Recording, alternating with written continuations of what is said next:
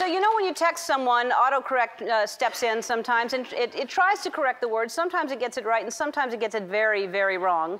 And uh, I like when you send me these things. This comes from Tiffany Hardy in uh, Sedalia, uh, Missouri.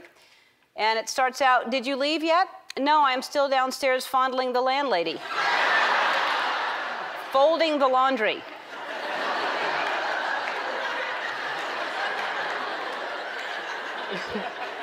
That's what autocorrect took a stab at. That's Alyssa Clark in St. Paul, Minnesota sent this in. This is Jonathan from KPMG. I just wanted to confirm your interview at 1:30 p.m. tomorrow. Yes, I'll be there. Thank you for, for confirming. I look forward to sleeping with you. Speaking.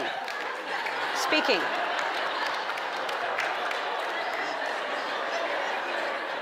They're going to get the job.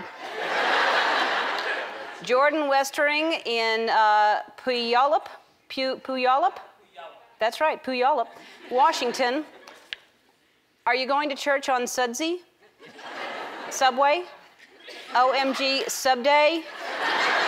Wow, I give up. Struggling much? LOL. God is telling me not to go to church.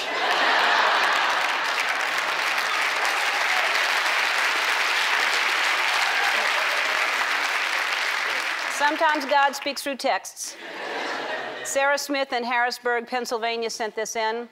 Great news, I finally found my G spot.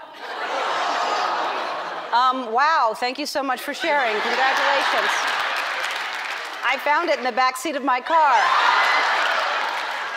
Okay, mom, this is now, it's just getting weird. Huh?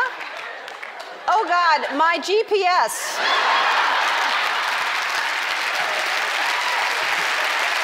Thanks for sending those in. If you have an autocorrect you think I should see, send it to me.